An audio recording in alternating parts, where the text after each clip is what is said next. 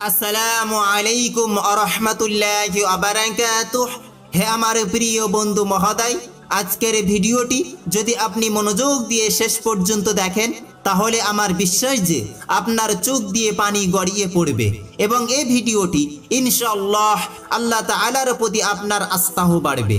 প্রিয় বন্ধু মহোদয়, এ ভিডিওটির মধ্যে দেখতে পাবেন এক হিন্দু পণ্ডিত পোরবন্দরে থাকা রিজওয়ান নামে এক মুসলিম ছেলের ঘটনা বর্ণনা করেছেন। ছেলেটি দিনে একশো কুড়ি টাকা করে ইনকাম করত, কিন্তু আজ এই মুসলিম ছেলেটি মাল্টি মিলিনিয়র প্রিয় বন্ধু মহোদয় রিজওয়ান নামের ছেলেটি গরিব থেকে ধনী কিভাবে হলেন এটা জানার জন্য এই হিন্দু পণ্ডিতের মুখ থেকে এই ঘটনাটি মন দিয়ে শেষ পর্যন্ত শুনুন খুবই গুরুত্বপূর্ণ আবেগময় ঘটনা এ ভিডিওটি বেশি বেশি শেয়ার করে সকলকে ও সকল মুসলিম ও মাহকে দেখার সুযোগ করে দিন আর হ্যাঁ ইসলামিক ভিডিও ও নতুন নতুন খবর দেখতে চ্যানেলটি সাবস্ক্রাইব করে পাশে থাকবেন हमारे गांव का एक मुसलमान छोरा पोरबंदर का। 120 रुपये का पगार। साधारण सा काम करता था। लेकिन मन में वृत्ति जितना हो सके किसी के काम आए। खोजा है। आगा खानी।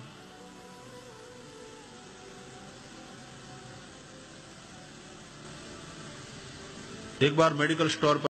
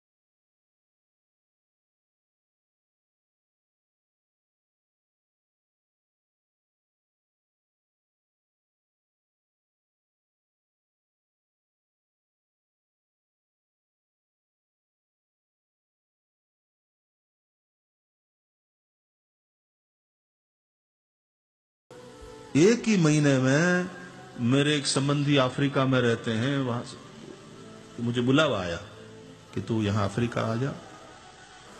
बोले, मैं स्टीमर में, मैं वहाँ अफ्रीका पहुँच गया। वहाँ ज्वाइन कर लिया। आज वो आदमी मल्टी मिलियनर है, अफ्रीका में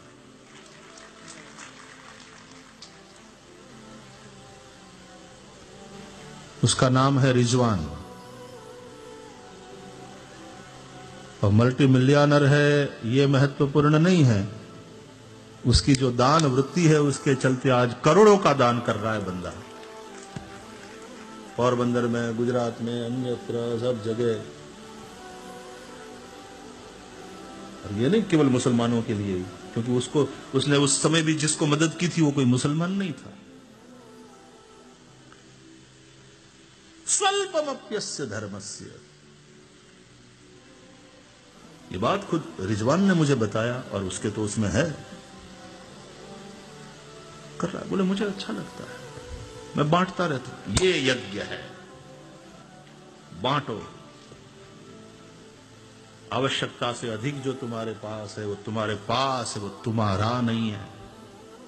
सदुपयोग करने के लिए परमात्मा ने दिया करो सदुपयोग।